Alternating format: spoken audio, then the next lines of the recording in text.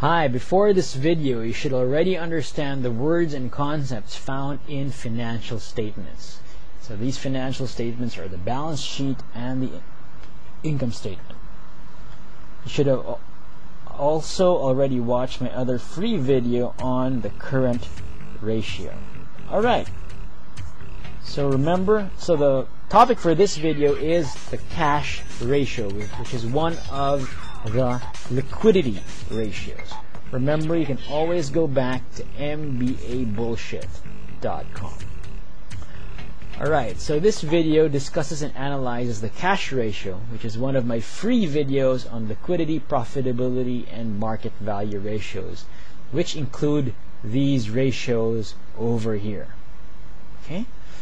And after this, you can check out my next videos on mbabullshit.com on financial leverage, which include this, and on turnover ratios, which include this.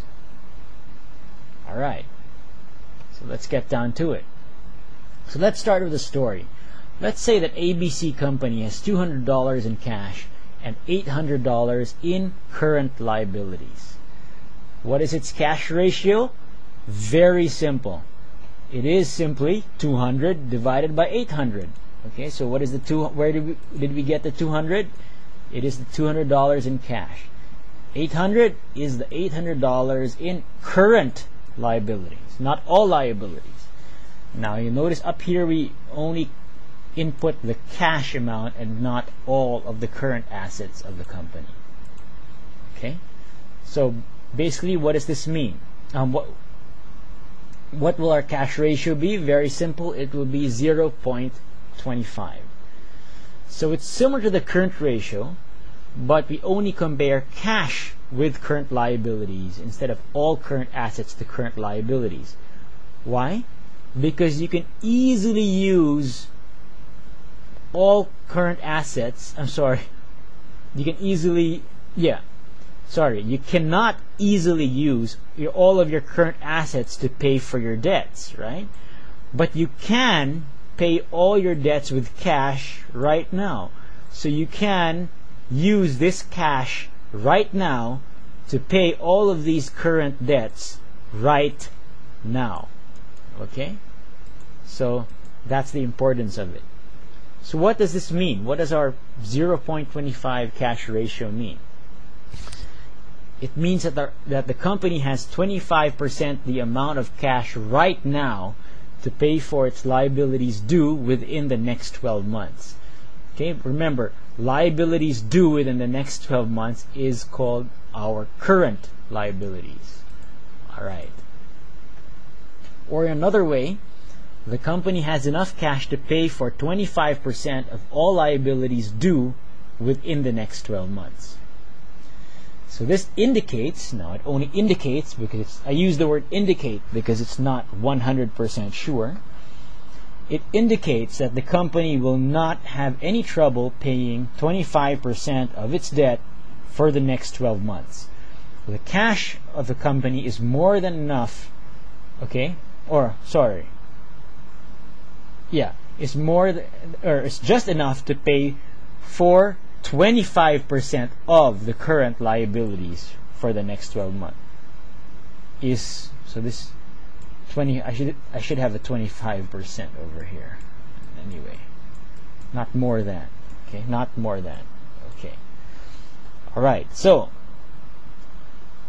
if the cash ratio is high why is this good? Well it's good for creditors such as banks which loan money to the company which need to be paid back within the next 12 months.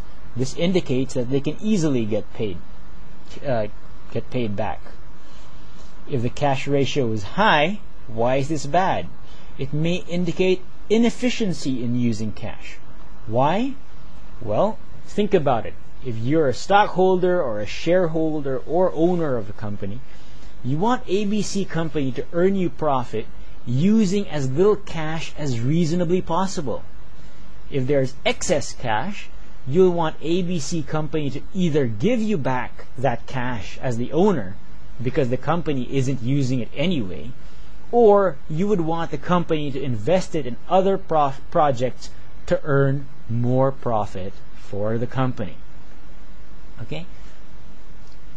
Um, this could also signal, now if, if you have a high cash ratio, this could also signal inability of the company to expand or to grow or that the company is stagnating meaning it's having it, it's stopped its growth. Why? Because if a company can expand let's say for example you're it's a fast food company. If the company has excess cash why don't they use that cash to put up more branches of the restaurants of the fast food restaurants so that it can earn more money maybe the company is not able to set up more branches because there's not enough demand for your product anymore. There's not enough, uh, maybe the market is saturated, meaning you have too many branches which are already open, for example, like what some people say is the case of Starbucks, right? Some people are claiming that Starbucks um, overexpanded or Krispy Kreme overexpanded, some people say and because of that they could not open up any more branches. Okay so because they opened too many branches already and there was not enough um, customers to buy from the new branches anymore.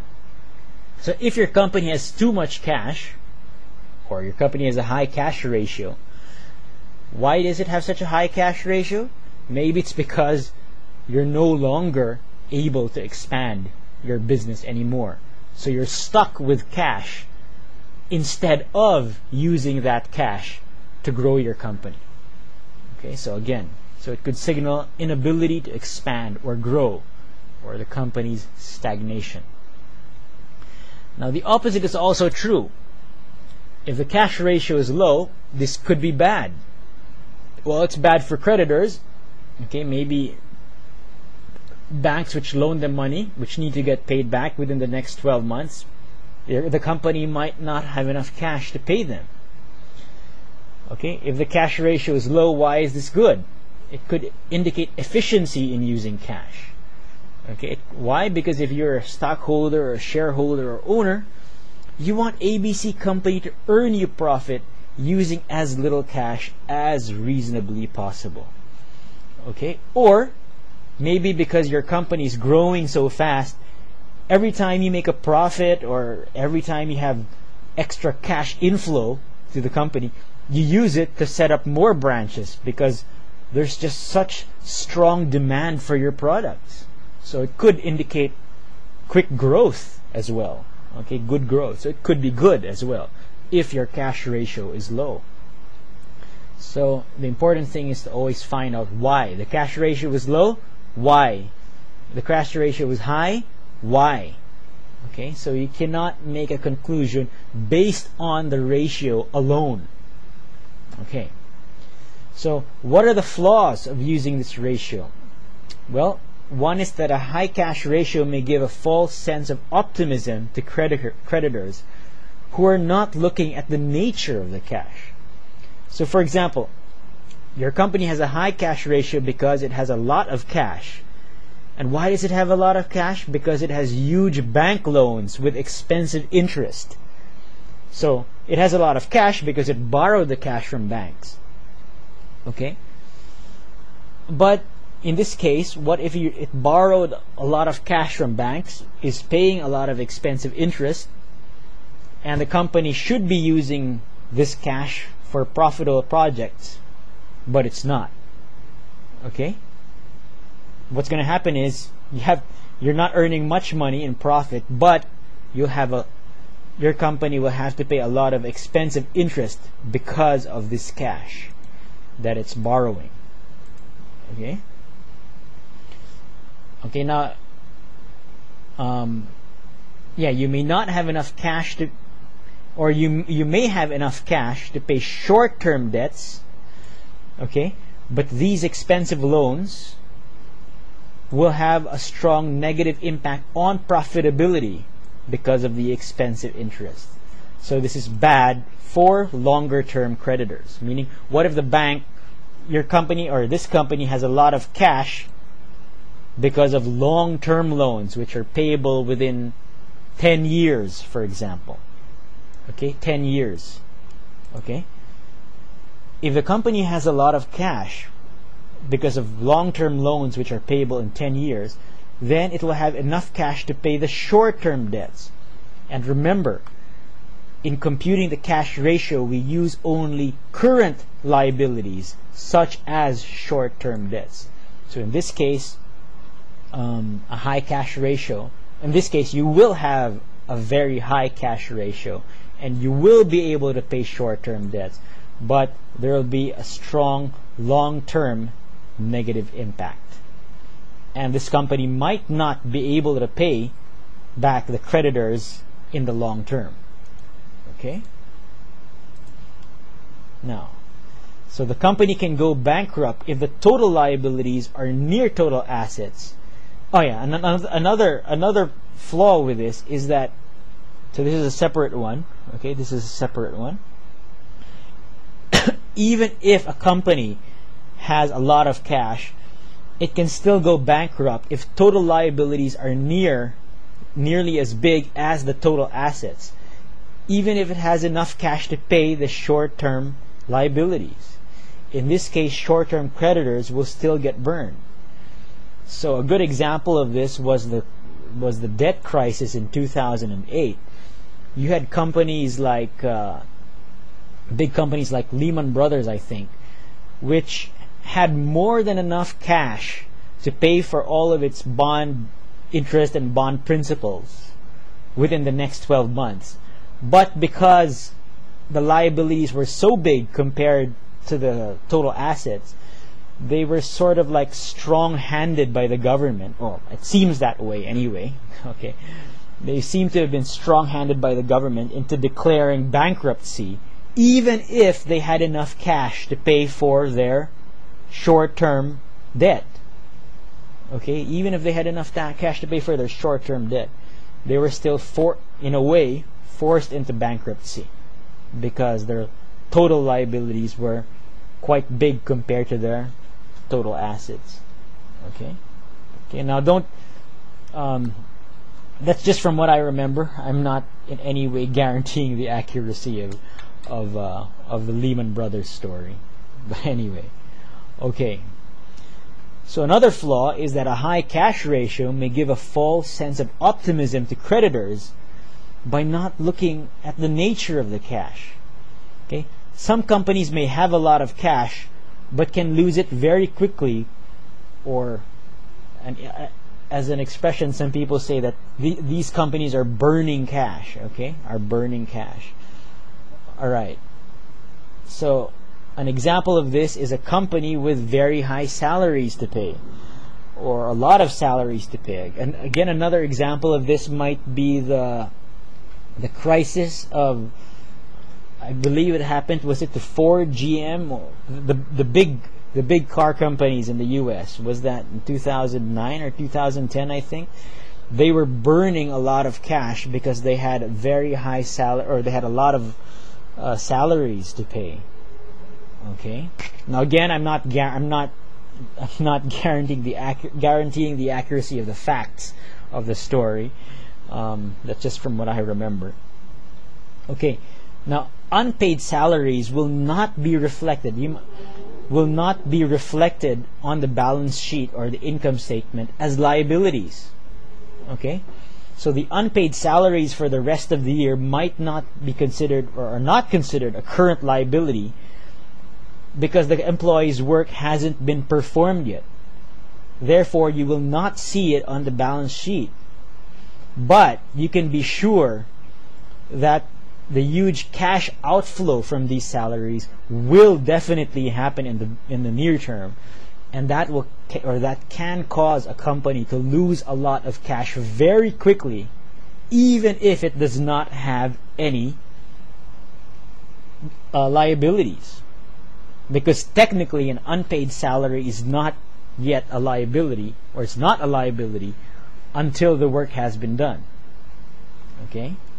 So in this case even if a company has a lot of salaries to pay and is losing cash so quickly like crazy because of high salaries you might still have a high cash ratio because the cash ratio formula does not include unpaid salaries okay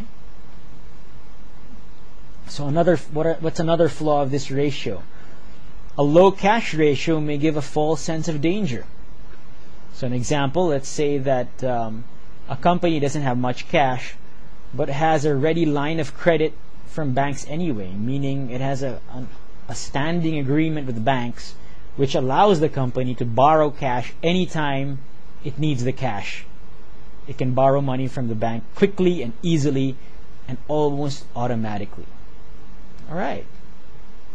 So, what is the traditional analysis of the cash ratio?